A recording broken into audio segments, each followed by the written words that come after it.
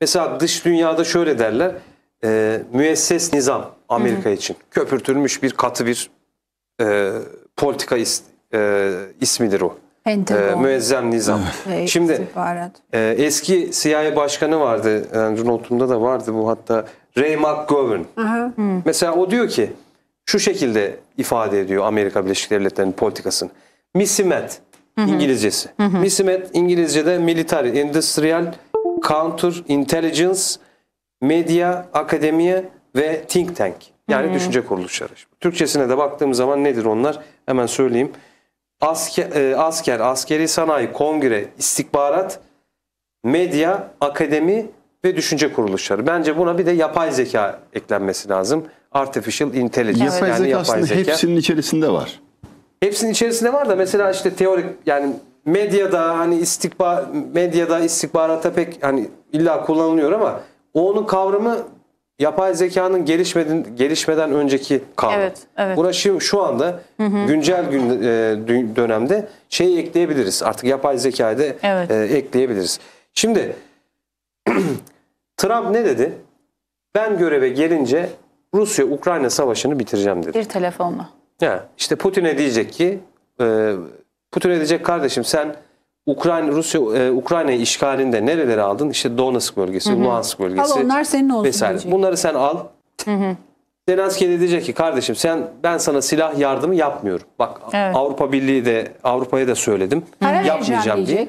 Sen e, sana ülkeni inşa etmek için para veriyorum. NATO'ya da üye etmiyorum. Seni Avrupa Birliği şemsiyesi altına da aldım. Akıllı Evet, dur. evet. NATO'ya girme, sakın yeltenme.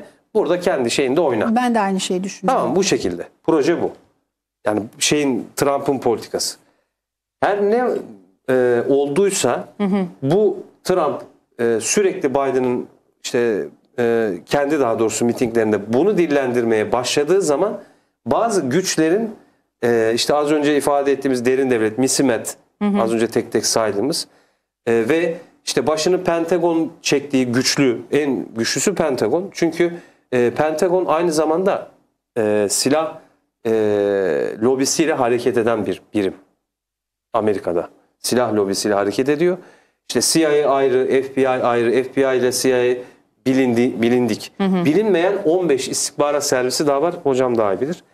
Sonuçta netice itibariyle tüm bunlar ayaklanmış durumda. Evet. Trump en son o şek e, o ifadeyi bir kez daha kullandı ve bir kez daha kullanınca çok net bir uyarı verildi Trump'a. Dedi ki kardeşim anketler seni gel, senin geldiğini gösterebilir. Sen ikinci kez Beyaz Saray'ın patronu olabilirsin. Bütün o davalar Ama- da o yüzden açıldı zaten. bizim sistemimize çomak sokamazsın dedi. Durdurduğun yerde zaten e, ya canını ödeyeceksin ya da işte e, sağ yani şey kaldı. Yani kıl payı sağ kaldı. Hatta ne dedi? Benim burada olmamam gerekiyordu Evet. dedi.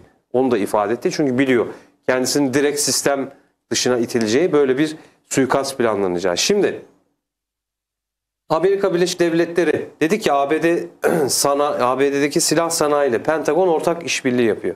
E şimdi savaş biterse silah tüccarları nasıl para kazanacak? Nereye satacaklar?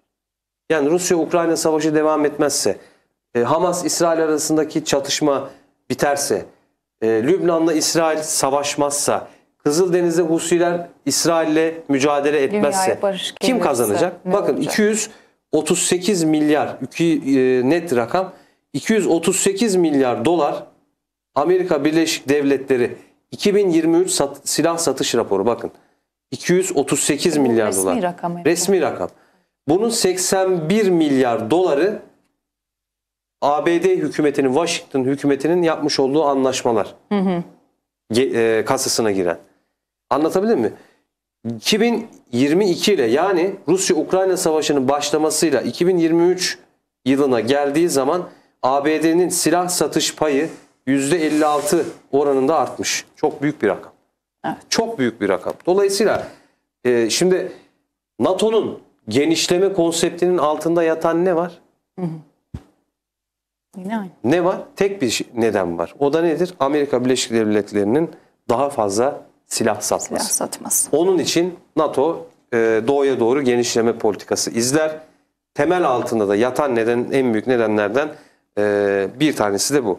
Şimdi ikinci bir neden Trump niye göze battı? Trump neden e, Amerikan derin devletinin hedef tahtasında oldu? Bakın Trump yeniden seçilmesi halinde geçtiğimiz günlerde tam 377 siyasi düşmanın listesini yayınladı.